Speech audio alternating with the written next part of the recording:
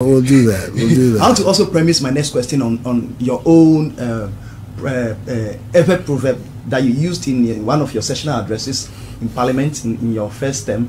You said, "Nuvevela vevezeme o Daniele." Right. I hope you remember that. I do remember very, very well. important things are, are, are, are cooked in important pots. Exactly. Yes, I remember that. I'm I thought it was a very expressive in, ex- expression. I'm grateful. I have a beautiful language. My biggest re- regret in my life is that uh, I've not been able to speak it. Really, it's a beautiful sounding language, Ewe, and uh, I always. Uh, I nearly did because in the early period before I, I originally got married, I had a very close association with somebody from the area. But And, Mr. uh, President, But you are- it's not too are late. Mr. President. oh, really? You, you are It's very good with languages. I don't You think are it's too late. Oh, oh, not the close association. I mean, the, the language. I always say it's not too late with the close association. Rebecca Akufo-Addo is, is listening to me No, with the languages. With the languages. with the language. Mr. President, you are a polyglot, in my opinion. Thank you. Will the vote Okay, sir. Uh, Mr. President, moving on, um, COVID has come with its challenges, and it's not peculiar to Ghana alone, it's the world over. But we are hearing the former president it's, um, um, uh, saying that it may, the difficulties that Ghanaians are having may not just be the ripple effect of COVID, but not um, your government as a leader being able to properly manage the economy. What, uh, what do you have to say to that, Mr. President?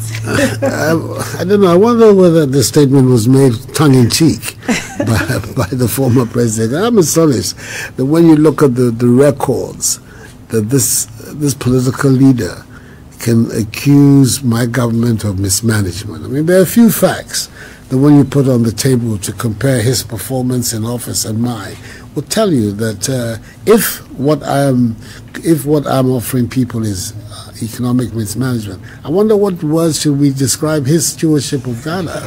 yeah, yeah, an unmitigated disaster. I mean, I that's how I would call it. Uh, and there's some few facts. When we left office in in uh, 2016, the, the rate of growth of our national economy was 3.4 percent, the lowest in 24 years at the time, the lowest. The very next year, the economy rebounded to uh, seven percent. Um, I think it was eight point something percent the very first year, and from then until the COVID, we averaged seven percent rate of GDP growth. Inflation, when he left office, was at 15.4%. Today, at the end of July, which are the last hard facts from the Statistical Service, is 9%. We, interest rates, always a good determinant of how the economy is operating, 32% in 20, December 2016. Today is at 20.6%. You're talking about treasury bill decline in interest rates.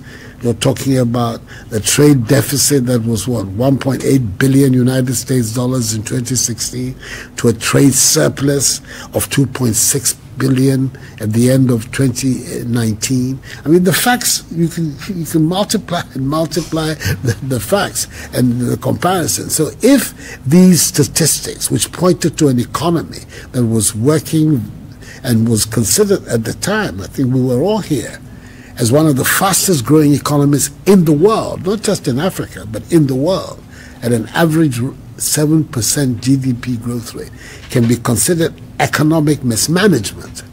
Then the, the economic policies of the government that took us into the embrace of the IMF, and even after the embrace of the IMF, left our economy in the disarray that it did in 2016. And I have no doubt that that disarray contributed significantly to the decision of the Ghanaian people to, to, to, to entrust the government to us in the NPP and, and into my hands.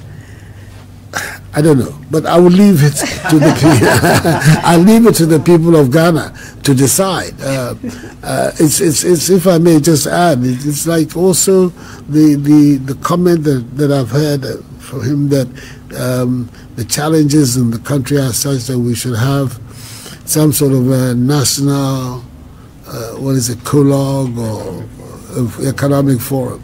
If the National Economic Forum is going to be a repetition of the so-called Senchi consensus, then I think I have to spare the people of Ghana this sort of development. The Senchi uh, consensus was an unmitigated disaster. Out of it, we went into the embrace of the IMF with all the difficulties that came from, from that and the disarray that it, it pointed to in the economy of our country.